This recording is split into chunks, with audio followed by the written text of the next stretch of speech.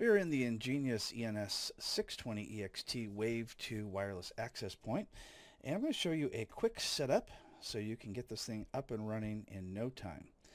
So I've gone ahead and plugged in the EnGenius into my network switch and I needed to connect to it and unfortunately I'm on a different subnet than it is. It's on 192.168.1 subnet as you see up here yet if I go to a command prompt and I type in ipconfig it says 192.168.15. So in order to communicate with it, I have to be on the same subnet as the EnGenius is. So if I right click in the taskbar and go to Open Network and Sharing Center and go to Change Adapter Settings, then I can go to my network properties and I can go to Internet Protocol 4 and then we click on the Advanced and then we can click on add. So from here I can put in 192.168.1. anything other than 1. So I could put in 20 if I want. And then just use the default subnet mask and then click add. So I've gone ahead and done this already. You can see I have a 1.50 in here. So we can go ahead and cancel, cancel, and we can go ahead and get back into our wireless access point. So once I'm on the same subnet, I just put in a 192.168.1.1 at the top and I use the default username and password that they give you in your quick start guide. And now I can go to networks and I want to get it on the same subnet that my uh, my different computers are on. So I can put in 192.168.15 and I can put in anything that we're not currently using such as 100. And then I have to change my gateway to 15.1. Now yours might be completely different. If you're on a Comcast network, you might be on a 10.1.10.1. So you may want to make it uh, .2 or .3, something like that, something that's not in use. Or you can go on the high end to 250, 253, 254, 255, something like that. You can always ping the address to see if that uh, if that device is there. So let's go ahead and ping 192.168.15.100. And if we don't get a response, that's a good indication that the device, there is no device with that IP address. So I'm also going to type in ARP minus A. And I also need to look to see if I see 15.100.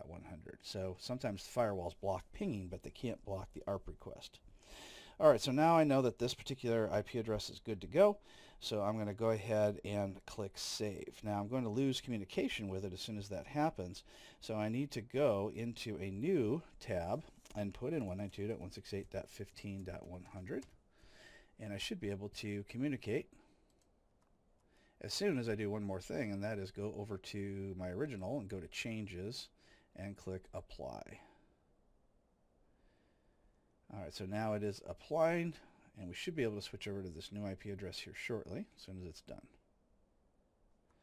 Looks like it's all set so let's go ahead and put in our default username and password and now we're in on the 15.100.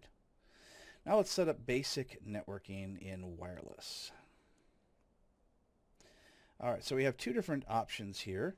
We've got the 2.4 gigahertz for the older devices and the 5 gigahertz for the new devices. So if you think you only have newer devices, then you don't have to use the 2.4. You can just uncheck the box and then now you're no longer using the older 2.4. But if you have both devices, go ahead and put them both on.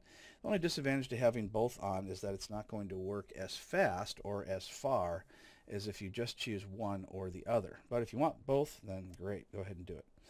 Now the next thing we've got to do is to go ahead and choose the name of our wireless access point SSID.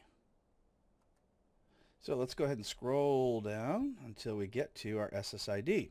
So we need to have at least one of them enabled, and which this is, and this is the SSID name. So it's kind of a long name. Nobody really likes that. So you can just put in uh, my access point or something more creative than that. And then you can get that spelled right there. Then you can go ahead and set up the security. So by default it says none. We don't want that. We got to add some security. So let's go ahead and click on edit and we're going to add some security by adding a password. So our security mode is going to be WPA2 PSK for pre-shared key. That's going to be the best one. Let's go ahead and choose under encryption. If you have TKIP and AES, it's, it's backwards compatible with really old devices. So I don't recommend that because it lowers the security. So let's just choose AES for advanced encryption service. Let's put in our passphrase. Never guess. Actually put in something better than that. And uh, leave the rest of the defaults. And let's go ahead and choose save. And now we have my access point set up. So if we were to browse to a an available wireless access point, we would see my access point there, put in the never guessed password, and now you are connected to your EnGenius ENS 620 EXT. Now I've got a lot more videos to show for advanced mode options and operations, all the different things you can do. So if you want to do more creative things or if you're having trouble, you want to do some troubleshooting, then take a look at the rest of the videos in this course and you'll learn all. And of course, to apply the changes, don't forget to click the changes button and then click apply. And that'll do it. So check out the other videos and thanks for watching.